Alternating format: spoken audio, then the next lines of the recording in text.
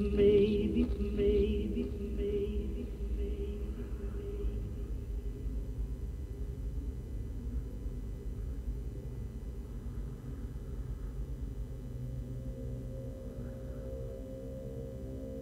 War. War never changes. The Romans waged war to gather slaves and wealth.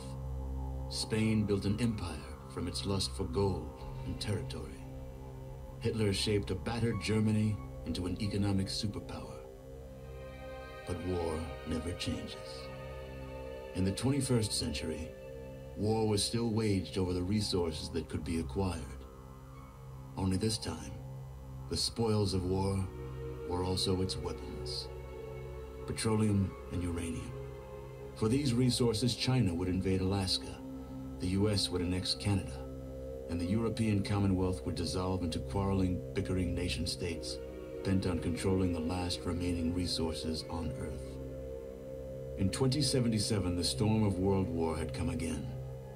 In two brief hours, most of the planet was reduced to cinders and from the ashes of nuclear devastation, a new civilization would struggle to arise.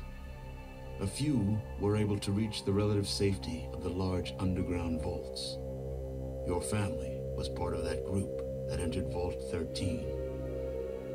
Imprisoned safely behind a large vault door under a mountain of stone, a generation has lived without knowledge of the outside world. Life in the vault is about to change.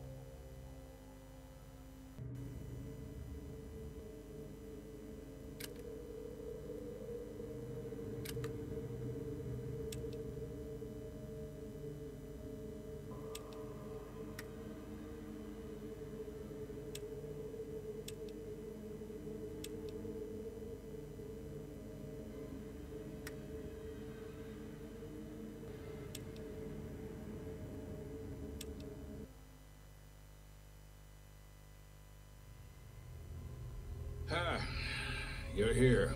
Good. We've got a problem. A big one. The controller chip for our water purification system is giving up the ghost. Can't make another one. The process is too complicated for a workaround system. Simply put, we're running out of drinking water. No water, no vault. This is crucial to our survival. And frankly, I think you're the only hope we have. You need to go find us another controller chip. We estimate we have four to five months before the vault runs out of water. We need that chip. We marked your map with the location of another vault.